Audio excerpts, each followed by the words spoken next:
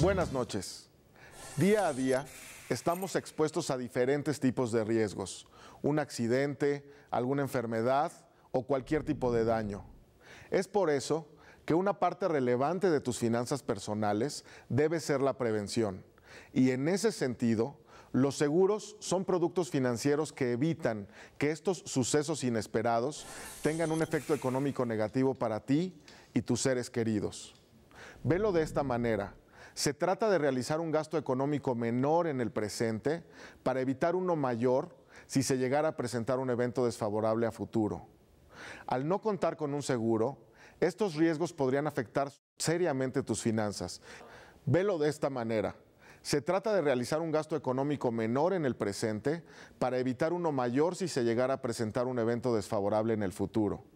Al no contar con un seguro, estos riesgos pueden afectar tus finanzas y posiblemente obligarte a adquirir una deuda que desequilibre tu bolsillo y se pueda volver un problema.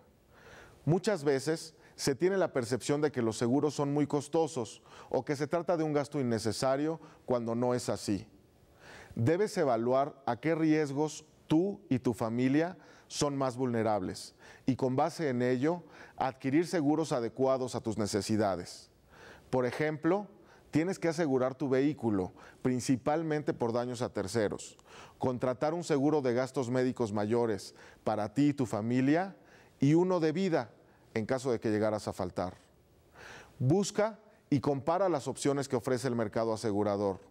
Hay seguros accesibles a cualquier bolsillo. Una buena opción son los seguros básicos estandarizados. Su principal cualidad es que son fácilmente comparables, cuentan con condiciones simples y requisitos sencillos para la reclamación y el pago de siniestros. Existen cinco tipos de responsabilidad civil para automóvil, accidentes personales, gastos médicos, vida y salud. Recuerda, Identifica tus posibles riesgos y los de tu familia. Revisa opciones comparando el costo y el beneficio y siempre lee las condiciones generales. Si no entiendes algo del contrato, pregunta. Nunca firmes algo de lo que no estés seguro. Aprende a manejar tu dinero con educación financiera. Nos vemos la próxima.